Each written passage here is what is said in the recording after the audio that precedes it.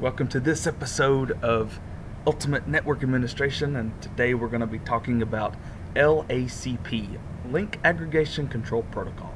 So, this is a way to improve uh, bandwidth throughput from switch to switch and also to um, increase port redundancy. So, say a port goes down, you have redundancy in the port, so you'll all, you will have another port that you can communicate on. So here we go. So what we'll do is we'll go ahead and we'll create, um, go into configuration mode, configure terminal, and then we'll go and create an interface port, port channel, and we'll say this one is like 19. So on here we'll do like, you'll do the configuration that you would on the actual ports. So this is just a virtual interface. It's an SVI. Switched virtual interface. So here we'll do switch port, mode, trunk, switch port, trunk, VLAN, um, native, VLAN 900. So we'll just specify a, let's see here, VLAN 900, fix it, interface PO19, switch port, trunk, native, VLAN 900. Then we'll do like switch port, trunk, allowed, VLAN. We'll just say we've got VLANs 10, 20, and 30. I want to stick away from VLAN 1. That's bad idea. Okay, so now you have, uh, let's see, do show run interface port channel 1 or 19. So here you can actually see the configuration. You got your native VLAN 900, the three allowed VLANs, and then the mode. So now you want to say what interfaces you want to actually configure on. So here we'll go to interface range. We'll do ports one and two, or uh, let's do three and four. G gigabit one slash zero slash three through four.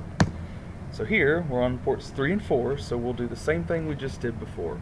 So what we can really do to cheat just a little bit is we can copy that. Just click it.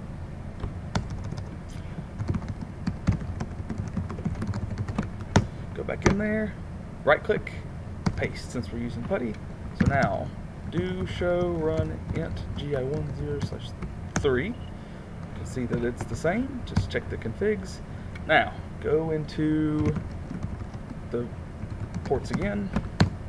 And now, to actually add it to the port channel, what we'll need to do is to specify channel group and then the port channel ID, 19 in this case, and then you'll need to specify the mode.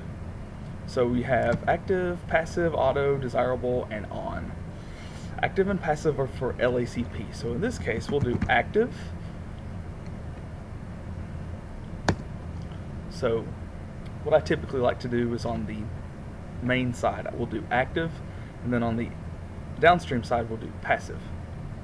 So this case, we'll do active, and that will put those in the port channel.